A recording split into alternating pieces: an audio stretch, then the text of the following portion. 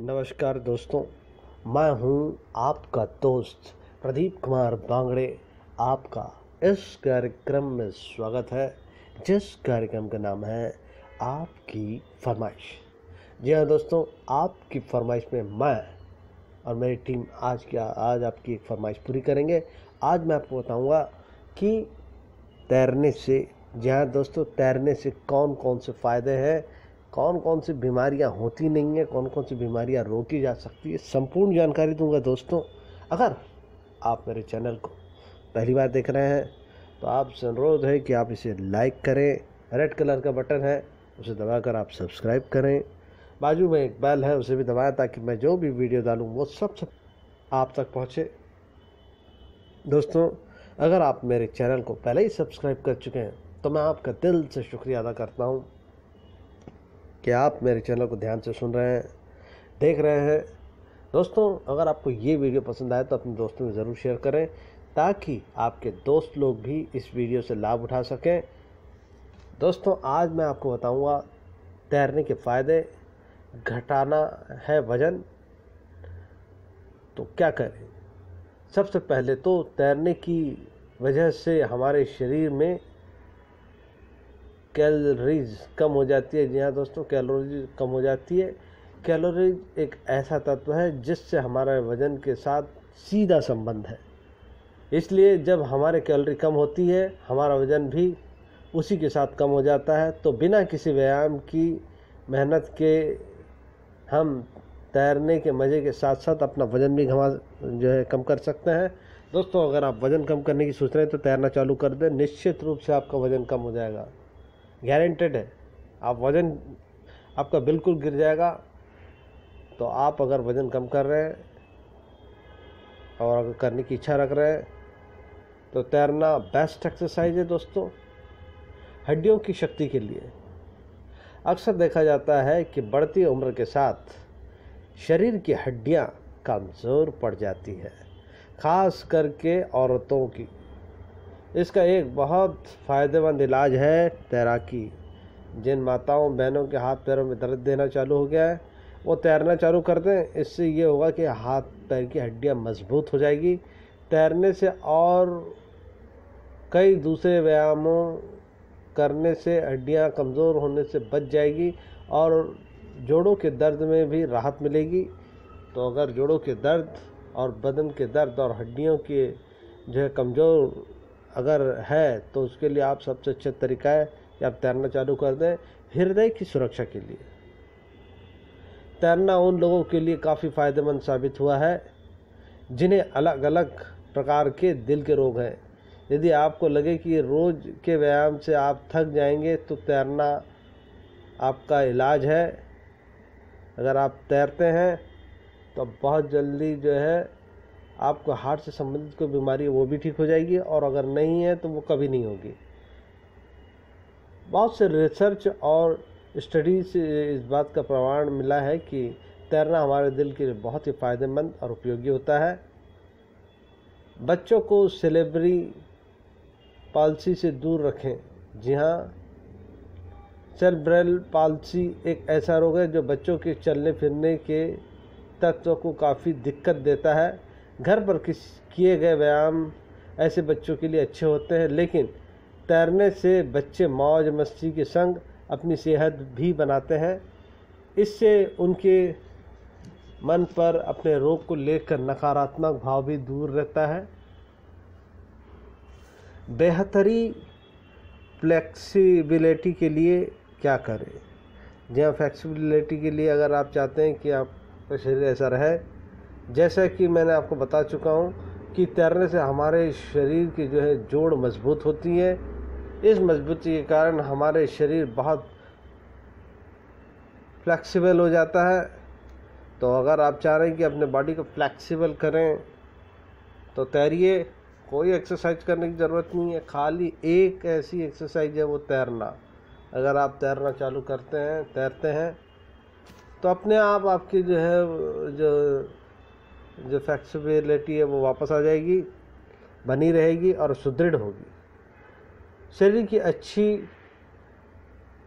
Coordination जी हाँ दोस्तों, शरीर के साथ अगर अच्छा कोऑर्डिनेशन करना है तो कैसे करें?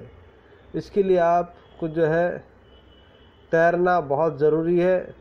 तैरने के लिए हमारे हाथ, पैर और सिर के बीच एक अच्छा सामान्यतः की ज़रूरत पड़ती है, समांतर की ज़रूरत पड़ती है। तैरने से हमारे शरीर में एक तरह का नियंत्रण और कोऑर्डिनेशन पाया जाता है, जिससे कोऑर्डिनेशन मज़बूत हो जाती है। कोऑर्डिनेशन बहुत ज़रूरी है दोस्तों, जब हमारे हाथ, सर, पैर, जब इनका कोऑर्डिनेशन नहीं हो पाता है तो कभी कभी देखा होगा कि जो है वो बिना कोऑर्डिनेशन के हाथ कभी इधर चला जाता है, कभी पैर उधर चला जाता है। इसलिए बेहद ज़रूरी कि अपने शरीर का जो है आप कोऑर्डिनेशन बनाएँ और कोऑर्डिनेशन बनाने के लिए आपको तैरना पड़ेगा। तैरिए थोड़ा सा तैरिए, कम से कम दस मिनट तैरिए। और अगर ज़्यादा से ज़्यादा आप जितना तैर सकते हो, उतना अच्छा है। लेकिन रोज़ाना दस मिनट तो ज़रूर जो है आप तैरिए। अस्थमा के इलाज में बहुत ही फ़ायदेमंद है। अस्थमा एक ऐसी बीमारी है, जिससे लोगों को सांस लेने में तकलीफ़ होती है। बहुत रिसर्च की बात ये साबित हुआ है कि घर पर किए गए व्यायाम से ज़्यादा तैरना इन रोगियों के लिए अच्छा इलाज है। जहाँ जो तैरना जानते हैं, उनके लिए तैरना चाहिए। अस्थमा के मरीजों को कोशिश करें कि वो ज़्यादा से ज़्यादा तैरें। जब मौका मिले तब तैर ले, नहा ले। नहाना नहीं है, तैरना है। स्विमिंग करना है आपको। बेहतरीन नींद के लिए अगर आप नींद नहीं आती है, परेशान है, क्यों नींद नहीं आती तो तैरने से हमारी नींद पर भी अच्छा प्रभाव पड़ता है। तैरना एक बहुत ही अच्छा व्यायाम पाया गया है, जो पानी में करने के कारण हमें कुछ समय में थका देता है। इसलिए क्योंकि तैरते समय हमारा पूरा शरीर एक साथ काम करता है और इस थकान के बाद आपको अच्छी नींद प्राप्त होगी, ये निश्चित रूप से साबित हो चुका है, अध्ययनों से पता चल चुका है। तो अगर आप चाहते हैं बेहतरीन नींद तो तैरना चालू कर दें। तैरे जितना हो सके उतना तैरे। कम से कम दस मिनट ज़रूर तैर दोस्तों।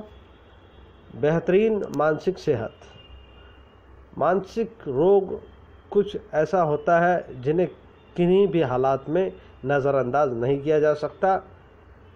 रिसर्च ने बताया है कि लोग को तैरने से काफ़ी फ़ायदा होता है और उनका मन काफ़ी सकारात्मक और खुश साबित होता है।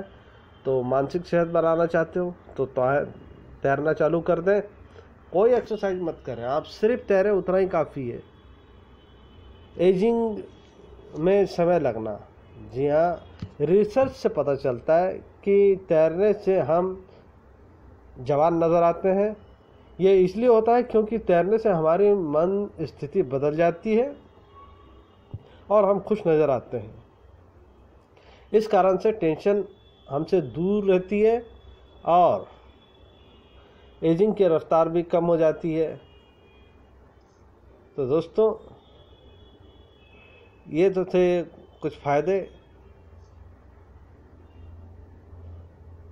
अब मैं आपको कुछ ऐसी चीज़ें बताऊँगा कि तैरने से जो है व्यायाम और तरीके जिस किस किस तरीके से तैरा जा सकता है, वो भी मैं आपको बता देता हूँ। पहला तरीका होता है फ्री स्टाइल यदि आपको तैरना अभी अभी सीखा है तो ये आपके लिए है, इसमें फास्ट स्ट्रोक पाए जाते हैं। आपका चेहरा नीचे की तरफ़ और हाथ, सिर के ऊपर। सबसे पहले आप अपने दाएँ कंधे को ऊपर उठाते हुए और पानी को पीछे धक्का मारते हुए एक पूरा राउंड बनाकर फिर वहीं पोजीशन में आ जाए और बाएँ हाथ उसी तरह घुमाए। इसको बोलते फ्री स्टाइल जो अक्सर करते हैं बैक स्ट्रोक अपने पीठ को पानी पर रखे हुए, आपको अपने दाहिने हाथ को पीछे की तरफ़ एक राउंड बनाते हुए फिर से पानी में उसी पोजीशन में वापस लाना है और बा, और तुरंत बाद यही चीज़ आपको बाएँ हाथ से करनी है। आपको पानी को इस तरह पीछे धकेलना है कि आप आगे बढ़ सकें। दोस्तों, तैरना जो है फ्री स्टाइल तैरना तो आप सीख सकते हैं। बहुत ही आसान होता है। लेकिन बाकी जो, जैसे कि मैं अभी बैक स्ट्रोक के बारे में बता रहा था तो ये सब जो है, आप किसी कोच के माध्यम से सीखें तो बेहतर होगा। अपना दिमाग ना लगाएँ, क्योंकि पानी का मामला है। अगर पानी में डूबने के चांसेस होते हैं, लेकिन जो कोच होता है, उसका काम ही होता है सिखाना। तो आप तैरना जो है, वो जो है, आप कोच से सीखें, बहुत फ़ायदा रहेगा। फ्री स्टाइल आप खुद सीख सकते हैं। तीसरा है ब्रेस्टो स्ट्रोक यहाँ आपको अपने चेहरा पानी की तरफ़ रखना है, जहाँ आपके हाथ, आपके सिर के ऊपर रहेंगे और पूरे शरीर एकदम फ्लैट। अब अपने हाथों से पानी को अपनी छाती की तरफ़ धक्का देना है और तुरंत बाद हाथों को वहीं पोजीशन में लाकर फिर से वहीं दोहराना है। साइड स्ट्रोक यहाँ आपको अपने दाहिनी तरफ़ तैरना है।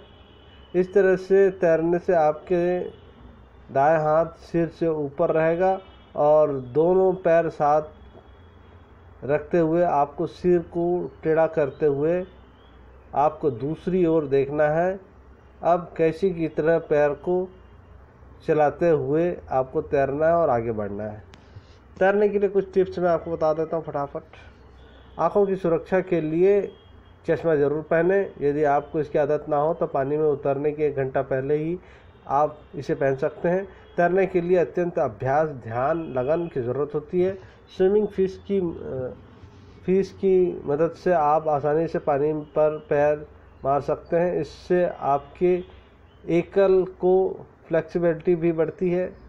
सिलिकॉन के ईयर प्लग से आपको पानी के कान में जाने की परेशानी महसूस नहीं होगी।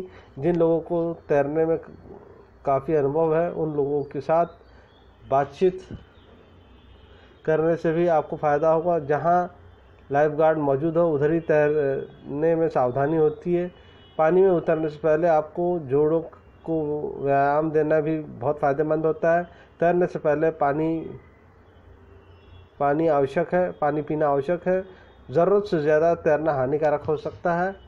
तो दोस्तों, ये थे कुछ टिप्स। उम्मीद करता हूँ दोस्तों आपको मैंने जो जानकारी दी, वो ज़रूर अच्छी लगी होगी। तो इसी के साथ अपने दोस्त प्रदीप कुमार बांगड़े को इस कार्यक्रम से जाने की इजाज़त दीजिए। नमस्कार, जय हिंद।